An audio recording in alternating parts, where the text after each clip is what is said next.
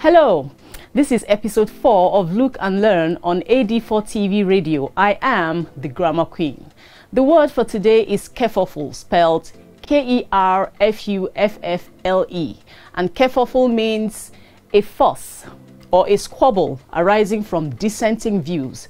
Another word for kerfuffle is quarrel, brouhaha, or altercation. Today, we'll be focusing on idiomatic expressions. Idioms are figurative expressions that do not derive their meanings from the individual words that make them up. For instance, if you tell me you're going for a swim and I say break a leg, I don't mean that your legs should literally break. No, it means I'm saying you should have fun. That's how idioms work. So let, let's look at some idioms. Elvis has left the building. This means it is all over or that the show has ended. Elvis was once the biggest pop icon in the world. His shows were always, always sold out and were huge successes. Being the king of rock, as soon as his show was over and he left, there was nothing more to say or do.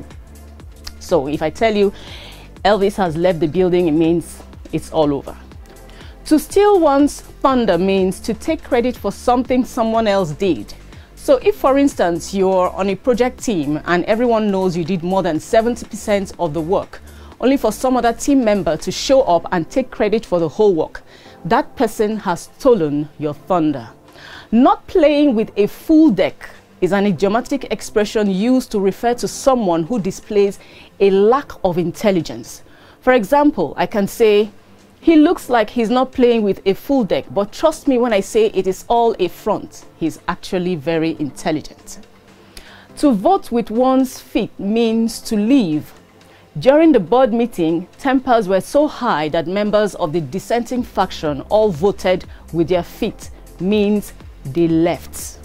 So if you say you voted with your feet, it means you left. A fifth columnist is a defector someone or a group of people who engage in acts that are detrimental to the group that they belong to. In the Nigerian parlance, they are referred to as sabo. Cloak and dagger means to be secretive about an issue.